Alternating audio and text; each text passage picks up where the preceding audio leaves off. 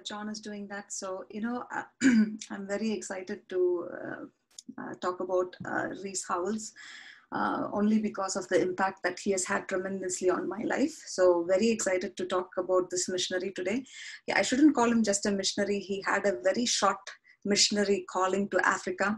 Uh, so we'll look at that. And actually, it was a time during there was a epidemic in Africa of flu. So we'll talk about that. But you know, this person has tremendously influenced. Um, you know um, how to pray and how to intercede and as we were singing all these songs right uh, he has lived a life to show how even if you're not a missionary where you are how prayer is so powerful how prayer with the burden that the Holy Spirit gives you and leads you. And if you're obedient um, and if you listen and tune your heart to what God is asking you to do, uh, you know, you can you can change the course of history. You can change the course of your nation. So, you know, I um, I, I, hope I do justice in telling about his life. So, Rees Howells, um, he was born in Wales in 1879 and he lived a wonderful life until 1950 and we'll see and um, you know i cannot share all of what he did but we'll just look at the very high level um, you know of, of, his, uh, of his accomplishments right? So rees howell was born in wales brennan man. That's the small little town in in southern welsh that he was born.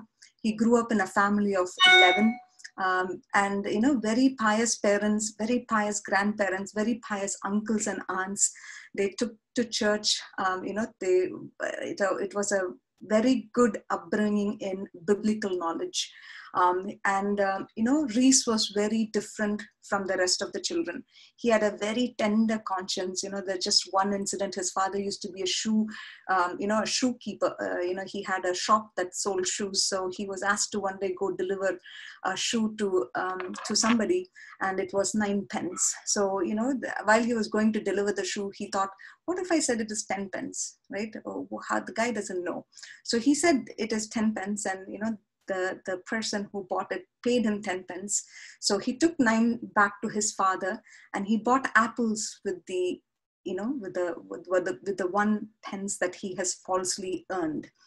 He ate the apple, but the guilt, he could not overcome the guilt. So he knew that he had to confess to his father.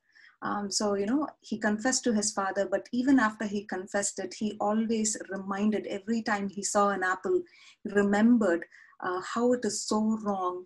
Uh, at a very young age, he was not even nine or 10 years old of age. At a very young age, you know, he realized that that was wrong, that the, that the Holy Spirit in him, he did not know it was the Holy Spirit, but he felt that was something wrong to do. And, you know, they, they credit him for such a soft, tender heart that listens, that listens to the voice that speaks within him. Um, so he, he grew up to be a young man, and at that time in 1880s uh, and 1890s, what was happening? Who was coming where from Europe? Right? Were, I mean, I, I know if we were in person, all the kids would have said what was going on, but at that time, people were migrating from Europe to America, right? So America was the new dream. America was where life was happening. Uh, so he at a very young age right as a teenager he decided to go with his cousin because he was so ambitious right? So rees howell grew up with the you know he, he was very smart he was very good he had a tender heart but he had this ambition that in a short time i want to earn a lot of money and i want to come back. And in the town that he lived they used to do a lot of mining tin mining and coal mining because we're all very popular at that time in in uh, europe and, and uk and, and uh, england right and wales so he decided to go learn and then come back and and um, you know have a very good life where he earns a lot of money. And he did and he says he used to love money so he wanted to earn a lot of money. So he set sail for india along uh, sorry set sail for uh, america along with his cousin. And he reached and they and they and they started working in a tin mine. And these this cousin and him they used to hang out a lot. Now i tell you right he he grew up in a christian home. Um, he, he was a very you know soft-hearted person but one day his cousin asked him right one question. He said hey rees right have you been born again? Right so rees said okay what does it mean to be born again? Right i, I don't understand. I, I live a good life. I i don't tell a lie. I, I go to church. I sing songs. I worship. But you know his his friend was telling his cousin was telling him but that's not what it is about. It is this experience of being changed from within so they got into so many arguments that in the end Rees said you know my my cousin doesn't even respect me. Uh, so i'm just going to move away from him because it became the relationship became so bitter. So he moved to a different part of the united states. He actually moved somewhere close to pennsylvania. Now, at that time, there was an outbreak of typhoid, right? And at that time, uh, um, I I don't know if they were back. I think it was very late that they found the vaccination for typhoid. But nonetheless, the, the, there was a typhoid outbreak, and Rees fell sick. He fell sick to the point that he was at his deathbed. And at that time, the question that his cousin asked, right? Do you really know where you're going to go? Because if you're not born again, he said, you cannot go to heaven. So the thought that he perhaps will not go to heaven and that he would be condemned to hell in eternity bothered him so much that he said, Lord, if I survive this disease, if I survive, uh, you know, and recover from typhoid, then I am going to seek you out. I'm going to find out who you are. And I, I know that I'm not right with you, right? So God did hear his prayer and he did heal him completely. He did not die, he was recovered and um, restarted a journey of about five months searching and searching and searching for what is this being born again. So he went back to his cousin. His cousin couldn't explain to him what it was and he couldn't get it. He was at the verge of saying, Lord, I, I don't know, you have to tell me who you are. And at that time in Pennsylvania, he met, he, he decided to go to the meeting of a young Jewish convert named uh, Morris Reuben, right? He was conducting meetings. He was talking in a in a in a in a in a church, and Rees happened to know about this, and he said, "Okay, I gotta go listen what this guy has to say." So here he went to the church, uh, and he heard this Morris Reuben talking about the cross, how Jesus was bled and how Jesus died on the cross for us. And Reuben, uh, sorry, Rees cried like a baby, right? He cried and cried and he could not stop himself. And he realized the love that God had for him. And that was his moment of salvation. He said, Lord, I want to know you. Forgive me for all my sins. And he had that experience of being born again, right? Where what is being born again? Where when you accept your sins and you ask God for forgiveness and you ask for Jesus's blood to wash you and cleanse you and, and you know you reestablish that connection with God, right? That is being born again. Uh, you know, you establish that connection with it, being able to talk to God. So he was like a new man. So God, you know, um, the, the, he was just elated and he was a changed man. So right about that time, uh, what did I tell, tell in the beginning? Of course, I, you can't respond back to me. But in the beginning, I told you, right? He was a man of ambition. He knew what he wanted. Uh, but as soon as he was born again, he said, I don't think I want the money anymore. I don't think that's my ambition anymore. I don't want to be in the United States anymore. So he decided to go back to Wales. And it was in the year um, 1904 okay and 1904 uh, he actually got a very good promotion in the company that he was working at and it, his pay was going to be doubled and you know he felt the holy spirit telling him this is not the path for you right i have a different plan for you so he decided to go back to uh, to Wales, to his own country. And right about that time, in 1904, when he returned, there was a great revival going on in Wales, right? It is actually known now as the Welsh Revival, where in a matter of a year, a preacher called, um, oh, I cut out his name, uh, I forgot his name, the guy on the on the left i think uh, roberts, huh? yeah evan evan roberts right? So at that time this preacher he was causing such a stir within the churches of wales that people were crying and repenting. And it was not just that they were filled with the holy spirit. It was almost like the day of pentecost. That's how beautiful it was. And every churchgoer became a witness of what jesus had done in their life.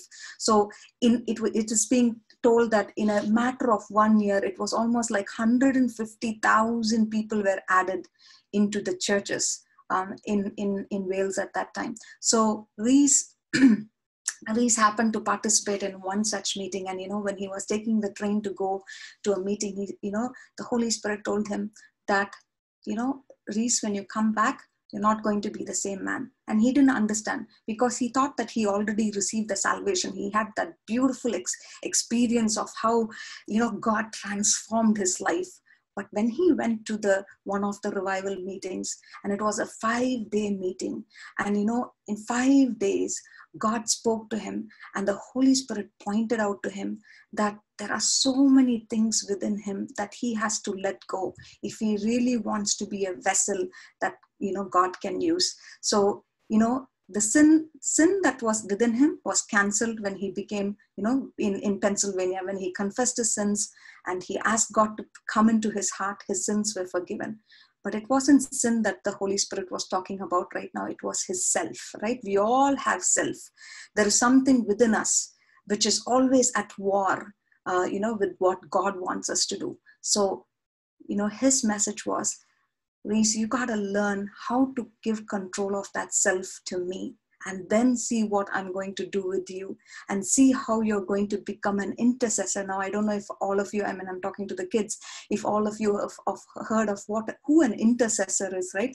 We talk about prayer warriors who pray and, you know, who will go to battle and who will pray uh, very, very hard. But intercessor is a little different. Intercessor is somebody who whom God lays a burden, right? They, they don't get the burden themselves. God will say, um, Rees, I want you to pray for this person. So it's a God given burden, and they will not stop praying for that particular cause until it comes to pass. So that's the difference between a prayer warrior and an intercessor. Now, intercessor, you cannot just get a burden just like that, right? It is something that God gives the burden for you. So, to become an intercessor, the Holy Spirit was telling him, you have to give up the biggest choice, the biggest gift that every human has. What is that? You know what that is? It is the free will, right? You all, we all have the choice of free will. When we give up that choice of free will to God, let's say, Lord, it is not my will, it is not my choice, but it is your choice. Then God moves in, and you get become, you know, like John 15 says, you become the vine and the branch, and you become one with God. And you will know exactly, you know, all throughout Rees's life, he talks about hearing from God. It, it, ha- it needs a very sensitive heart that can discern when God is speaking and what he's asking you to pray for and whom he's asking you to pray for. So, so that's what it is. He would spend hours and hours praying, right? And he lived. he got a job um, in his community right? It was a it was it was a small community that's okay it was a small community in uh, in in um, of tin tin mining uh, folks. So so Rees used to spend hours praying for many people that when when he would be walking down to his his uh, his workplace the holy spirit will lay a burden upon him right? He will say i want you to pray for this person. And Rees would spend hours praying for his salvation and God would show him exactly what to pray for and how to pray for it. Many people did not even know that Rees was praying for him. Many of them, you know, they say that they were ill in their deathbed of consumption. Consumption is like a disease, like, uh, you know, like tuberculosis, where there is no hope. Uh, it is a deteriorating uh, disease. So he has prayed for many back to life, but, you know, he, he would wait for the Lord's prompting, you know, the Holy Spirit's leading. Who should I be praying for? and and when he when when the holy spirit said okay this is the person then he would he would spend hours seeking lord how should i be praying for them? And sometimes he would be asked to give up things right? Give up your food give up uh, you know in that time sometimes it's very silly. In in in the 1870s or 1900s you always wore a top hat. You would never if you are in a respectable family uh, you would never step out without your top hat on. Um, at in when he was interceding for somebody and when he had to learn to say no to himself and his pride god once asked him to say okay i want you to now stop wearing wearing your top hat for so many months right? When you're praying. And and it you know it sounds very silly to us now. But in that days apparently it was very disgraceful for for a for a man to walk around in the city without his hat. But he did it out of complete obedience. And when he obeyed you know god gave he he uses the term god gave him a, a special position of you know he calls it gaining a position of intercession. And he would knew exactly when god would answer his prayer. So uh, you know god completely worked in his life and it was a special bond that he formed and i uh, you know with god. Um, and he was very very specific um, in his, his his message from god's was so specific. Uh, he had an uncle. For example he had an uncle who was an invalid all his life. For 30 years of his life he spent in a wheelchair. And one day god told him i'm going to heal uncle um, willie i'm going to heal uncle willie so he said, Lord, he's not walked for 30 years of his life. Said, Yes, I'm going to heal him. You're going to pray. And he was his prayer partner, by the way. Uncle Willie was his prayer partner. So he went and told Uncle Willie, This is what Lord is telling me that he's going to heal you. Uh, so Uncle Willie said, Okay, is that so? I'm going to ask the Lord if that is true. So he went and prayed and he said, Looks like God wants me to be healed. So the both of them started praying, and God told them specifically the date and the time when his uncle will be healed. It was a Sunday, and it he said at Sunday morning at six. And this is not something that just comes, right? This is hours of praying and being able to hear what God is able to tell and being right with God. And he said, Uncle, God is going to heal you on this Sunday. And at 6 a.m., you will be healed, and you will walk the two miles to the village church, right? Now, the you know that's great. Uh, everybody would wait till that all of that happens but you know the god told him why don't you proclaim it to the world that uncle willie billy uh, willie is going to walk to church? And he said sure i will. And he did. And everybody thought that he had lost it right? And especially on the saturday before the day the big grand day was supposed to happen uh, the saturday before uncle willie became so sick he became so gravely ill, and all along doubts would rise. But you know, Rees, once he decided and he knew that this is what God has told, he would never back off. He would not have an ounce of unbelief. He said, Lord, you have told it, it will happen. And even on Saturday, when he fell sick, and the whole village was saying, you know, poor Uncle Willie, he has gone astray listening to his nephew. Um, you know, he continued to believe. And sure enough, on Sunday at 6 a.m., Uncle Willie came out of the bed, did not need a wheelchair, and he walked the two miles to church, right? It sounds like the supernatural, but it is, right? How powerful prayer is and how prayer done with the Holy Spirit's guidance is such an effective tool. Okay, so that was a small example. There are many examples of what he did this was his life right after he returned from America and was part of the Welsh revival. So, um, few years after that, you know, he he got married uh, to a very young, you know, he grew up with Elizabeth. Uh, she used to work with him in the missions. Uh, it was a perfect match. Uh, they married, and they also started, you know. Uh, Rees Howell is also known for his faith living, right? So, in one of his times when his love for money was, he had a lot of money. And he was in, from a well-to-do family and he had a lot of money to give away too. So uh, the lord told them you know if you're going to give me your free will and everything else right? If you truly tell me that you know i'm you are completely my property you know i'm at your disposal he's going you know god said even your money is you know for me to choose how to be used so from that day on even his own money he would not spend it until the lord told him what to do with it. So you know they lived by a life of faith. So um, for their wedding expenses or many such things they never had any money and they would they would pray about it and god would deliver in such miraculous way right before you know the moment before um, you know the money was needed so i can't give you a lot of details but i'll just give you one detail um, which is you know which ties into the story of of how they got called into mission so um, uh, before we go there, they did have a son, right? They did have a son, Samuel Howells. And when the baby was just an infant, um, you know, Samuel uh, uh, got his calling. So, what was his calling? There was a South African mission that said that they needed um, a mission. Uh, they need a missionary in Africa, and God said that you know the heathens in Africa are so many. You know, will you will you are you ready to sacrifice giving up your son for me, you know, to go to Africa. Um, so, you know, it, it, it sounds, I mean, if I were, I'm a mom, right? To give up your child, an infant child, to go do something that takes a lot of lot of um, lot of faith and a lot of heartache and still being obedient to god. So not just for him but for his wife. You know two people came stepped forward to, to take care of rees's son infant son.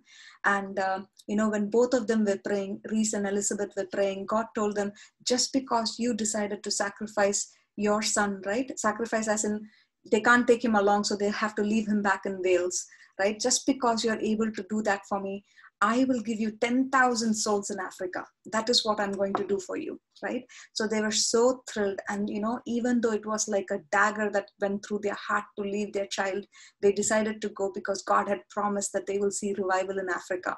So that's the portion of the story where he actually goes um, as a missionary to Africa. And I'll tie into how they do, uh, you know, how their faith living was, right? So to go to Africa as a mission, we, we have seen in other missionaries too, right? They have to get trained. It was a common thing to get them some kind of basic medical training so they know how to handle when they are in mission fields. So for all of that, money was needed. And he was not supposed to ask anybody for his needs. You know, it was always God who was to provide, and it was always provided miraculously. But the best story was was when they was going to Africa, right? Uh, they had to board the train from London. Uh, they had they had money put away, but they also lived with a rule for themselves that if a need comes first, the money is gone, right? Even if you have put it aside for something else, if there is a need comes, then you have to give up that money. So there was another need came and they had to give up the money. They had about 16 uh, shillings or something in their hand. So they got ready. They went to the train station and uh, they said, Lord, how are you going to work this all out? Many people came to say goodbye, but none of them handed them any money.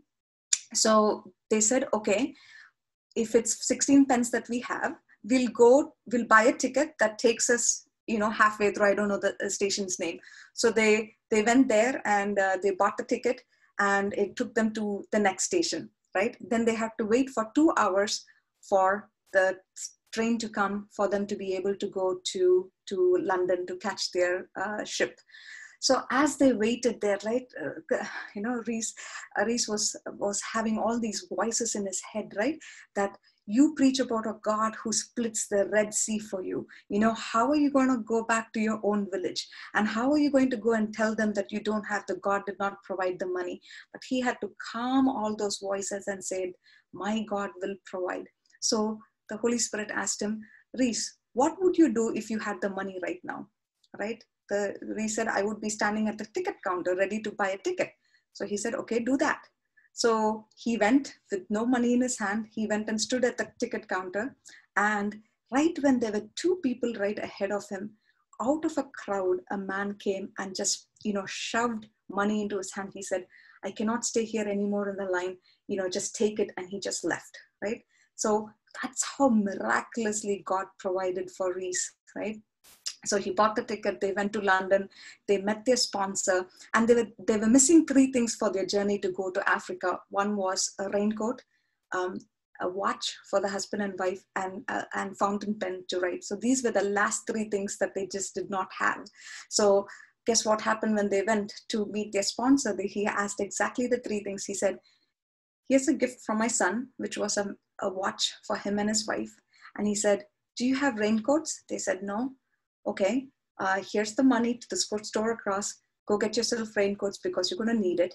And also, uh, do you have pens? They said, no. So exactly the three things that they wanted god provided in such miraculous way right so that is the faith living who else you know who inspired him by the way for all of this faith living um, it was john mueller uh, sorry um, george mueller. We have learned about george mueller too right? The guy who wrote diaries and diaries after of prayers right? The one with the orphanage who did not depend upon anybody. So george mueller he he he learned it from george mueller and uh, he had continued to live a life of faith.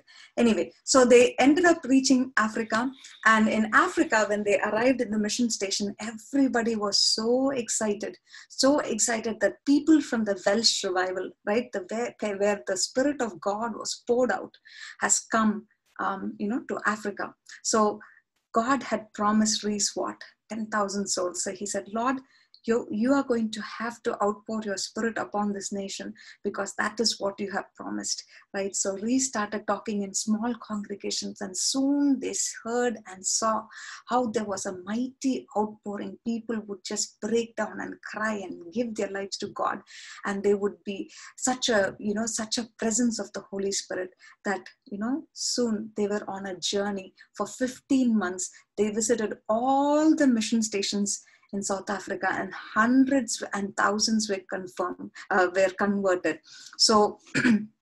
their um, you know their, their journey uh, took them nearly two years to finish uh, seeing all the mission stations they were in africa for five years and he calls it the most productive five years of his life where it was just you know just loving the people of Africa, just pouring their love out to them and, and praying and, and mentoring others to be able to, you know, take out that take you know to teach the how to pray and how to uh, to receive god and salvation so in one of the mission stations when he was uh, when he was stationed uh, you know there was an influenza outbreak in africa just like the spanish flu here it was in the year 1918 that there was a big influenza outbreak. Now, everybody around him was uh, were, were dying, but God had whispered and spoken to Rees Howell saying, Nobody in the mission station is going to die. There were about 68 people already infected, but all the medical training that he and his wife had gotten, uh, you know, came in handy. And, you know, I can't go into the details, uh, but he he prayed he sat by those who were critically ill he would pray with them. He would intercede for them. And he said lord you said nobody would die. So nobody can die. And you know the news soon spread out right? So he declared boldly saying that you know he because he felt god heard it he heard god say that nobody died uh, will die to to to just activate what he felt right? That he he heard god speak. He made a declaration saying nobody in the mission hospital is going to die. You know soon what happened? All the chiefs of the neighboring villages heard this and they said the white man is able to keep the people alive. And the hard hearted people the ones who would not receive the gospel just saw how the hand of god was in the mission mission in, in the in the mission station and both rees and his wife up you know totally devoted themselves to taking care of the sick and praying and interceding. By the end of it all you know not even one person died in the in the base camp. So that is the power of prayer. When we pray for those who are affected with the coronavirus right there is power because we are believing um, you know that uh, we pray to a living god who is able to save and protect. So um, that was his call to africa but soon after that he had to come come back home. Uh, in 1920 he returned back home. And um, that's about the the the you know the the end of the story. But his life doesn't end here right? Once he came back god used him as a mighty instrument right? To to create and and and mentor many intercessors right? People who would pray who would pray without ceasing. He started the Bible College of Wales, and it's a beautiful story how God brought him to that position of calling, uh, of being a, you know, starting a Bible college that based on the principle of, of, of living by faith and the gospel should go to every creature. That was his commission. He, he felt that the Lord told him, he had this vision that said, gospel to every creature. So every creature on this earth has to hear the gospel. That means I need to pray more about it and I need to be able to train more people who are able to do that for others. And not just that, they would pray in this Bible college. Um, you know, they would pray not just for themselves and their spiritual growth, for, but for many, many world events. Right? Um, there was world uh, the uh, World War II was going on at that time. So how the D-Day, uh, how the British Army was saved, how the uh, uh, Salerno, the miracle at uh, Salerno, right, where the Italian troops were were surrounded by German armies. Nobody knows why they turned back and did not attack but you know it is beautiful to see how in the small welsh bible college there was a group of people just praying because rees felt that his soldiers are you know have no chance if if we don't pray for them if we don't support them if we don't do the groundwork of praying for them they will be just you know annihilated by the germans so he took it so seriously and even when israel was being born and un was asked to um, you know there was un had to um, acknowledge that Israel was a nation. So uh, during the Holocaust, there are so many details of how they interceded so specifically and how the Holy Spirit led them on what to pray for and how to pray for, that they saw tremendous victory in his life. So that was the story of Rees Howells. Um, actually for all the young adults and, also you know uh, of course adults too there's a wonderful book called rees howells the intercessor. It's a book by norman grubb. Uh, all of this there are about 37 chapters. They're available on youtube. Uh, you're on summer vacation. So all the young adults out there can certainly hear this. It's just 30 minutes each chapter and somebody's reading it for you. So it's it's it goes through his childhood till his death day and it's just it, it is just um, a wonderful story of a man who lived by prayer, just interceding, just hearing how the Holy Spirit was leading him and prayed specifically, uh, giving up himself, abiding in what the Holy Spirit was leading him to. And he, you know, he truly changed the course of nations and of history. So um, such a great story. Um, I was truly inspired by it, and um, I hope that you know um, you guys get a chance to uh, hear him more in, in YouTube. So we can just close uh, with a word of prayer. Our gracious loving Father, we, we just thank you and we praise you, Lord. Father, we are beyond inspired, oh Master, Lord, of this wonderful man of yours. So, Father, Lord, how he gave up, Lord Father, himself to pray for others, Lord, to just pour out himself, oh Master, Lord, just like we've been hearing and singing, Lord, to to have that burden for souls that are lost, to have the burden for nations that are going astray, to have a burden, Lord Father, for things that are chaotic around this world, oh Father. We thank you and we praise you for that spirit of supplication and anointing of, of prayer that was upon this man. I pray that we will, Lord, we will model him, Lord, that he will, Lord, that we will be led in a similar manner to know, Lord, to, to die to self, to die to free will, and Lord, to be able to surrender completely to you. And as you lead us, oh Master, and especially for our children, I pray that next generation, Lord, that they will know that there is power in prayer, that there is power, O Father, to move, Lord Father, immovable mountains, oh Father, and Lord, that they will, it will be a witness in their lives, O Father. We thank you for and praise you for such great men of history who have existed before us, who have paved the way for where we are. And Lord, we praise you and we thank you that you have a plan and a purpose for every generation. In Jesus' precious name I pray. Amen. Amen.